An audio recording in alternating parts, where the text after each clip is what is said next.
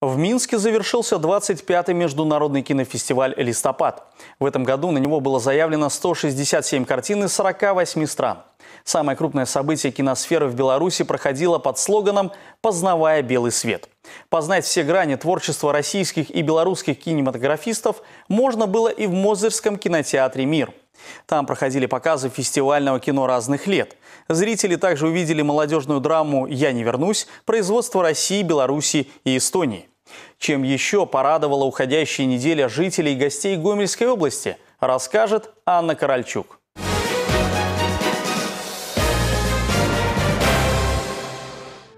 Грустен и весел вхожу я, воятель, в твою мастерскую. Гипсу ты мысли даешь, мрамор покорен тебе. Сколько богов и богинь и героев.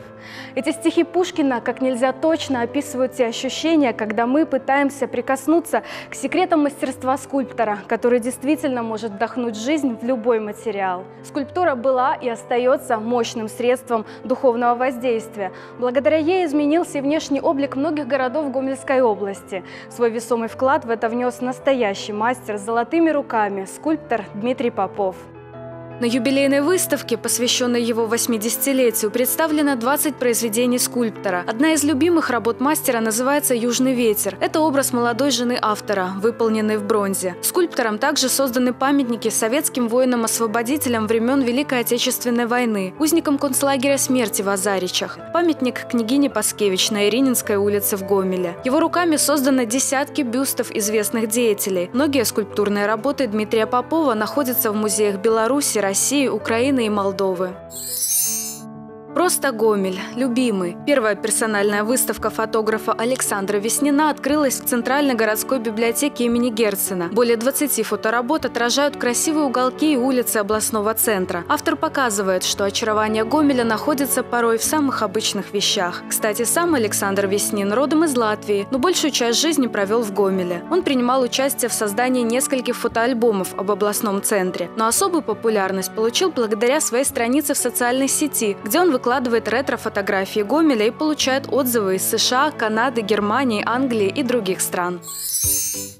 Абсурдная, смешная и трогательная история. Гомельский молодежный театр представил премьеру спектакля «Братишки Бэт Бойс» по пьесе Рея и Майкла Куни. Режиссер спектакля Владимир Петрович определяет жанр постановки как английская черная комедия. Герои Том и Линда – обычная семейная пара из Лондона. Супруги хотят простого человеческого счастья, а их родные из самых благих побуждений пытаются ускорить его приход. Однако от их помощи голова кругом. Преодоление нелепых ситуаций, поиски выхода из тупикового положения с изобретательностью. Все это ждет героев. Премьерные показы спектакля «Братишки Бэт Бойс» также пройдут 16 и 24 ноября.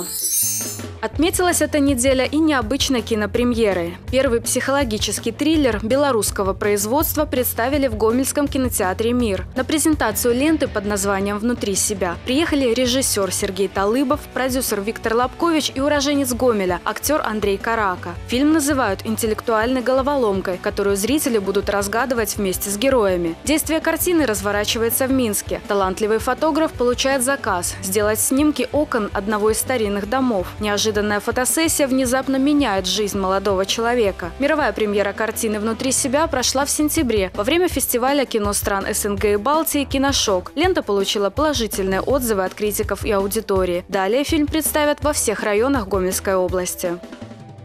Чем нас порадует следующая неделя, узнаем прямо сейчас. Картинной галерее Гаврила Ващенко откроется выставка живописи «Мой выбор». Экспозиция включает 35 работ известных белорусских художников.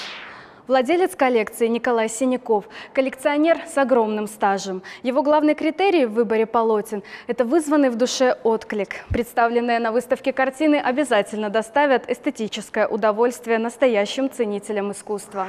Прекрасный вокал с глубоким звучанием мелодий. В камерном зале Дворца культуры железнодорожников пройдет музыкальный вечер с любовью к опере. Артистка Гомельской областной филармонии Ольга Кузьменко и солист Большого театра Беларуси Александр Александр Краснодубский исполнят популярные композиции из мировых опер. Для гостей вечера прозвучат мелодии из произведений Моцарта, Бизе и Россини.